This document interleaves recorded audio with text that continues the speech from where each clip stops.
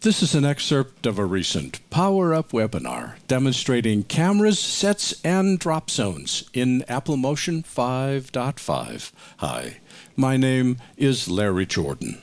In this short video tutorial, I'll illustrate how to create depth of field focus using a camera in motion. I go to the top view all the time to figure out how I want stuff to look. And you'll notice that everything is in focus. We can add depth of field to a camera, and it's tricky.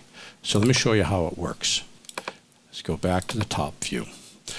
Two things have to be done. Go up to the Render menu and turn on depth of field. It's off by default. Second, select the camera, go to the inspector, go to camera, and show depth of field. The DOF, that stands for depth of field, the blur amount is how blurry stuff is going to get. I'm going to have it be really blurry. And you'll notice that everything is quite blurred here. The near focus is that part of the camera which is in focus. And notice here, as I roll it, see that yellow line moving? Let's just move this over so we can see both the inset, whoop, whoop, whoop, both the inset and the camera have to click and drag in that little space right there. Okay, so let's drag near focus again. Near focus determines which part of the shot is in focus. Notice here just the letter C is in focus, or here the letter A is in focus. Far focus is what part of the end of the shot is in focus, and by default, it defaults to the focal plane. You can't pull it closer. You can only move it farther away which means that which is in the background is in focus. So if you want to mess with depth of field, set the near focus to be in front of the nearest object to the camera that you want to have be in focus, and set the far focus to zero. Once you've done that, we can adjust the focus offset to roll so the foreground is out of focus. Look at the A is out.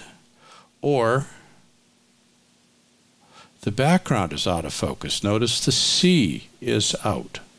So by rolling focus offset, as long as the render is set to depth of field, you can adjust the blurriness of your image through depth of field. Now let's say we want to have a really tight depth of field. I'm going to move that closer.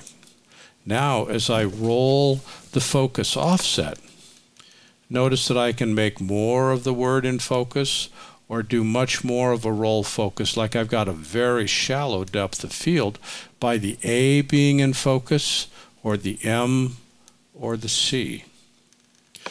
So the DOF blur amount determines how blurry the image is going to be. Near focus is the closest object to the camera that's in focus.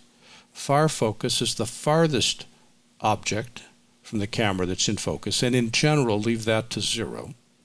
And focus offset allows you to roll the focus from one to the other.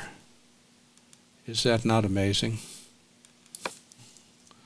This was an excerpt of a recent Power Up webinar demonstrating cameras, sets, and drop zones in Apple Motion.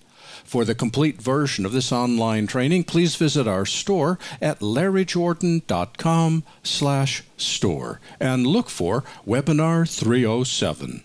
By the way, when you need to stretch your training dollars, membership in our video training library saves you money and time. You can access all our videos for a low monthly price of only $19.99. That's almost 2,000 movies, hundreds of hours on a wide variety of subjects. Plus, premium members can download practice media and projects. Our training covers Apple and Adobe software. We update it multiple times each month. And for more information, visit larryjordan.com slash membership.